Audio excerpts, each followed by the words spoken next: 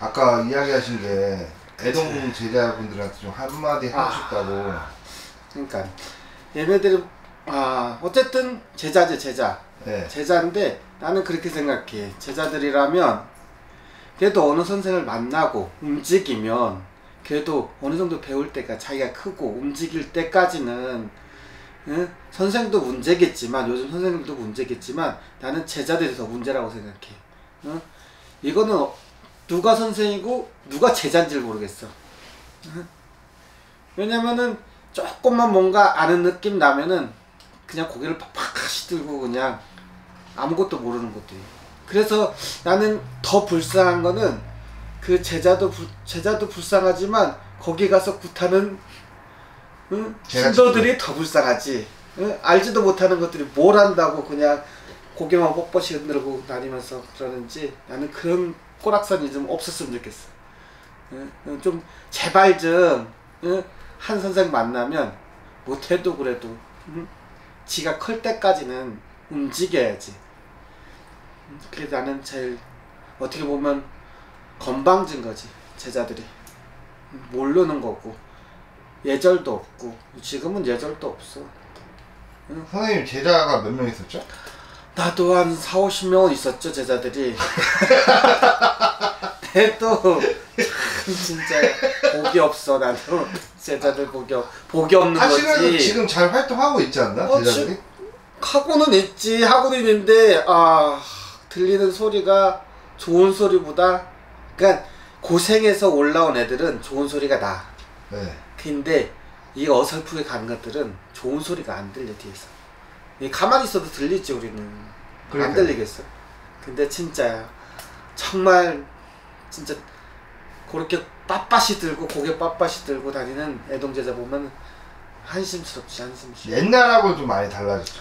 많이 다르지 지금은. 나 때도 나도 나 선생 때도 다르듯이 내가 또 제자를 내고 올 때는 또 달라. 그럼 또 지네들도 애기가 또 애기를 낳고.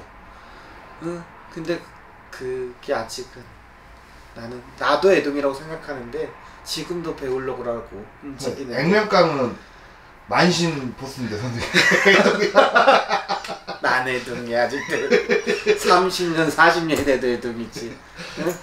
그러니까 제발 좀, 좀 고개 좀 숙였으면 좋겠어 애동들은 응? 그게 신에 대한 예인 것 신이 모신 신 모신 게 무슨 대수라고 그 고개를 빳빳이 드는 것보다 예의는 있어야지 응? 대한민국 사람이라면 근데 신 모시고 자기가 신인 만큼 항상 뭐 신령님이 있을 때야 위험도 있겠지만 그 기본이 있어야지 기본이 없는 거 같아 예절이 없죠. 없어 아무리 찾아보려고 해도 없어 눈 씻고 찾아보려고 응? 정신 좀 차렸으면 좋겠어 근데 공개적으로 뭐 제자 제자 분들 어렵고 힘든 분들 도와준다 좀 방송 좀 하시지. 아 나는 맨날 우리는 지금 알다시피 나는 돈을 많이 받고 해준 적이 없어. 응? 남들은 막 아니 그 뭐야? 진짜야. 선생님 그 아, 선생님이 갖고 있는 굿당에서 일도 하고. 일도 하고 배우고 우리는 그렇지 공짜로 해주는데 다 도망가고. 한두 명이 아직 도망간 것들이 그냥. 아 도망가서 잘만 살면 누가 뭐라고 그래. 열심히 잘 살면. 그왜 도망가는 거예요 도대체? 내 승집 들어오니까 도망가라고 그러지 못 버텨 솔직한 얘기로. 아, 그? 고비를 못 버티는 거지. 그 고비만 좀 넘기면 되는데.